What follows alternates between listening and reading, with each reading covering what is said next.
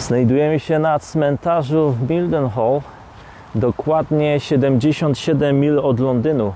Dlaczego o tym wspominam? Ponieważ e, Władysław Zalewski został pochowany właśnie na tym cmentarzu, a nie tak jak podaje wiele źródeł i publikacji, że w Londynie.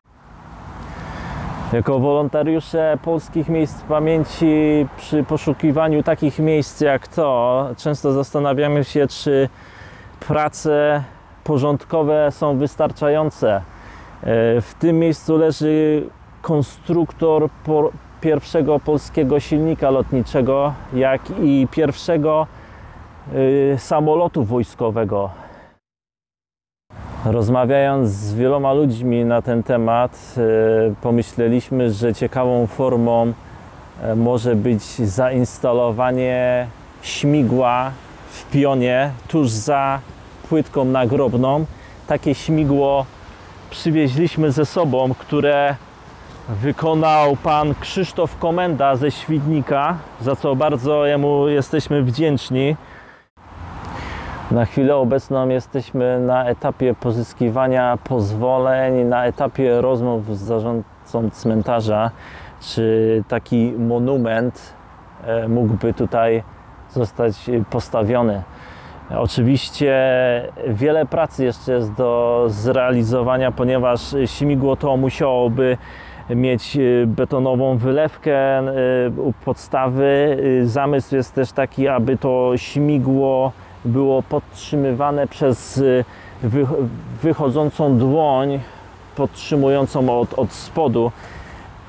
Mamy pewien plan na to, natomiast y, potrzebujemy również środki na to i rozmyślamy, aby otworzyć zbiórkę na e, zbudowanie, na zainstalowanie tego monumentu.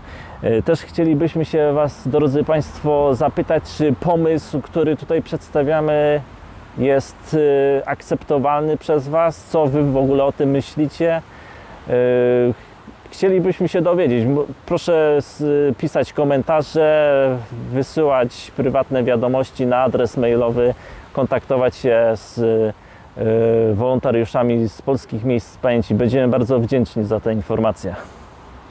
Aktualnie śmigło jest to w, w tak zwanym stanie surowym. E, Jest plan, aby okleić je e, na łopatach. e, Tekst po polsku i po angielsku, kim był Władysław Zalewski, a na części centralnej zainstalować polską szachownicę. Także pracy y, z tym monumentem jest trochę, także czekamy na Wasze komentarze. Podsumowując nasze badania nad Władysławem Zalewskim, e, ostatni raz e, byliśmy tutaj dwa lata temu, dokładnie dwa lata temu i przez te dwa lata e, udało nam się pozyskać bardzo dużo ciekawych informacji, między innymi z tych dwóch książek Technicy lotnictwa polskiego na zachodzie autorstwa Jerzego Płoszajskiego i wznowiona wersja rozszerzona pod patronatem automobilisty.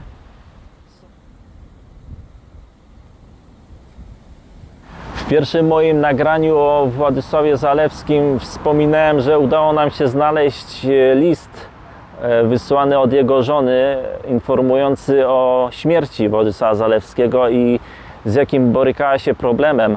E, Wszystkie projekty, narzędzia, maszyny, które Władysław Zalewski pozostawił właśnie w tym mieście, w swoim domu w Mildenhall, zostały uratowane właśnie przez y, pana Jerzego, przez y, autora tych książek, pana Jerzego Płoszajskiego. E, Silnik, między innymi silnik gwiazdowy, dzięki panu Jerzemu znajduje się dzisiaj w Muzeum Techniki w Warszawie. Naprawdę polecam te dwie pozycje książkowe dla Państwa Biblioteki Domowej, bo są e, warte e, przeczytania, zweryfikowania pewnych informacji, które są związane z e, polskim lotnictwem w Wielkiej Brytanii. Na koniec chciałbym jeszcze zaapelować, że wciąż szukamy najbliższej rodziny Władysława Zalewskiego, jak i jego żony Majory Zalewski z domu e, James. Będziemy bardzo wdzięczni, jeśli ktoś e, ma jakieś informacje o jego najbliższej rodzinie.